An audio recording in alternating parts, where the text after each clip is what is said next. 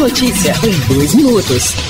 A Receita Federal liberou o pagamento de mais um lote residual de restituição do imposto de renda à pessoa física de vários exercícios anteriores. O crédito bancário para 44.966 contribuintes é no valor total de 100 milhões de reais. Cerca de 74 milhões de reais são destinados a contribuintes que têm prioridade legal. Para saber se a restituição está disponível, o contribuinte deve acessar o site gov.br/barra Receita Federal, clicar em Meu Imposto de Renda e, em seguida, em Consultar a Restituição. A Secretaria de Comércio Exterior divulga na próxima quinta-feira, dia 3 de março, os dados preliminares da balança comercial do mês de fevereiro.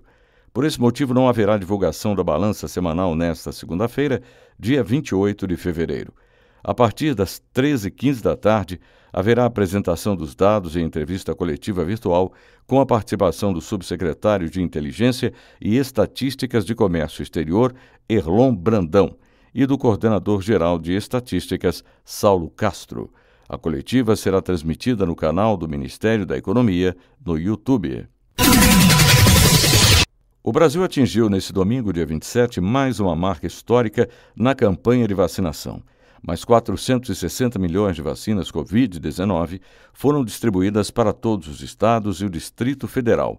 O número é fruto de um processo logístico complexo coordenado pelo Ministério da Saúde para que as vacinas cheguem até a população brasileira em tempo recorde.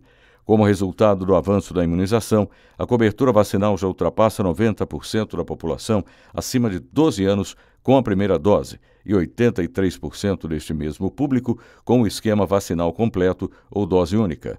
Até agora, mais de 53 milhões de pessoas já tomaram a dose de reforço, aplicada quatro meses após a segunda dose.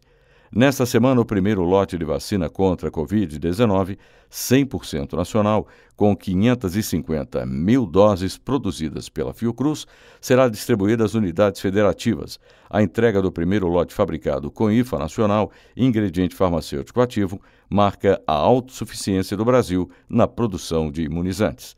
Da Rede Nacional de Rádio, em Brasília, Gilson Santa Fé. É notícia em dois minutos.